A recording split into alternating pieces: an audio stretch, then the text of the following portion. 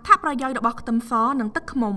1ជំរុញឲ្យអ្នកមានធម៌ពលបំផុសគំនិតនិងធ្វើឲ្យអ្នកទទួលបាននូវកម្រិតសុខភាពមួយដ៏ល្អប្រសើរវិធីធ្វើដោយគ្រាន់តែអ្នកយកខ្ទឹមស2ទៅ3កំពឹសហើយដំវាឲ្យបែកបន្ទាប់មកកូរវាជាមួយនឹងទឹកឃ្មុំមួយស្លាបព្រាបាយរួចទទួលទានវាជារៀងរាល់ថ្ងៃ 2មានប្រសិទ្ធភាពសម្រាប់ជំងឺផ្ដាសាយឈឺបំពង់កនិងពៅកម្លាំងគ្រឿងផ្សំរួមមានខ្ទឹមសចំនួន5កំពឹស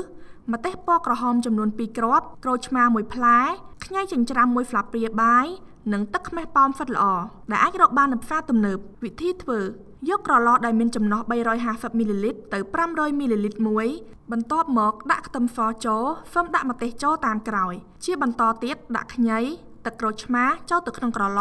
និងចាក់ទឹកខ្មេះប៉ោមចូលជាការហ្វ្រាច់ជាចុងក្រោយសម្អាតមាត់ក្រឡឬផ្នែកខាងក្រៅក្រឡឲ្យបានស្អាតនិងគ្របឲ្យបានជិតល្អទុកនៅកន្លែងដែលសមរម្យមួយដើម្បីងាយស្រួលក្នុងការទទួលទានកម្មវិធីនេះឧបត្ថម្ភដោយ